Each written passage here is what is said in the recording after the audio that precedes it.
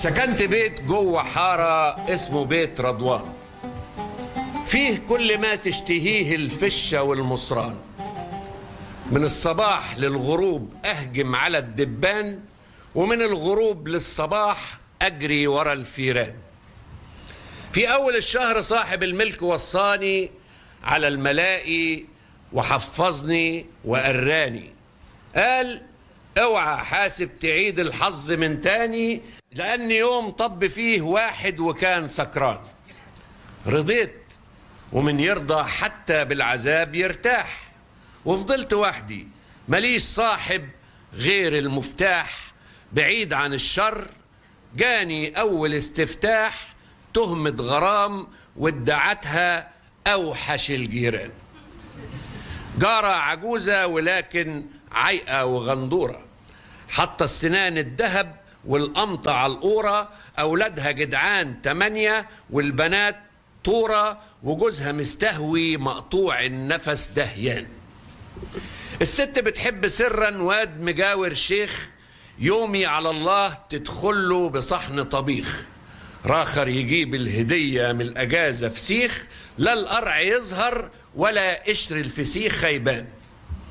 أما العزول اللي شايف دي الغرام جارة عرجة وفوق ظهرها كمبور ومكارة.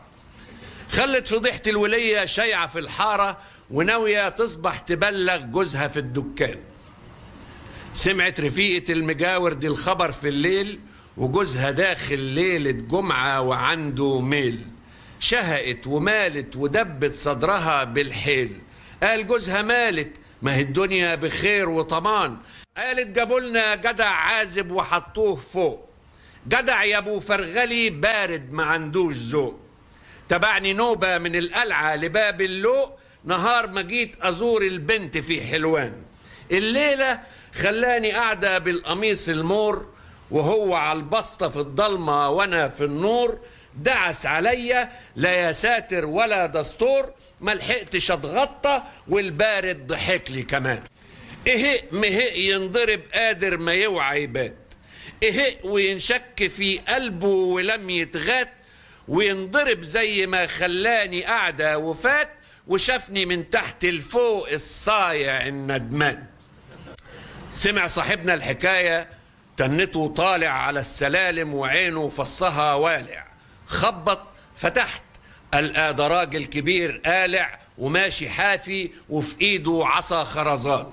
أول ما شاف وشي قال يلعن أبوك خنزير وأبو اللي جابك هنا عبد الله فندي بكير وأبو اللي يجي حميلك كبير وصغير بارد قليل الحياة دمك صحيح هربان.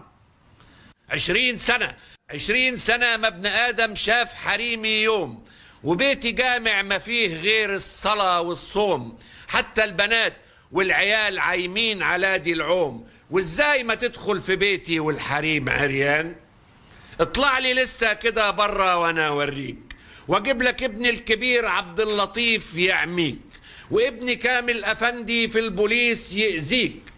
تفيت وقلت أستعوذ بالله من الشيطان. على إيه يا عم البوليس والخوتة والهرجة؟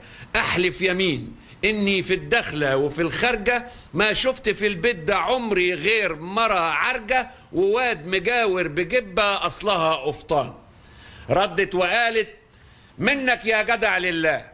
انزل يا أبو مصطفى ده شغل أنا عارفاه. إن شاء الله من جاب في سيرتي ينضرب في حشاه وتخوض في دمه اليهود والمسلم السكران. نزل وقال حب أشوف شغلي أنا بعدين. واجعص جعيص يبتسم لك ولا يضرب عين. عن إذني حطي صوابعك في عينيه الاتنين. بقول على علو حسي قدام الجيران.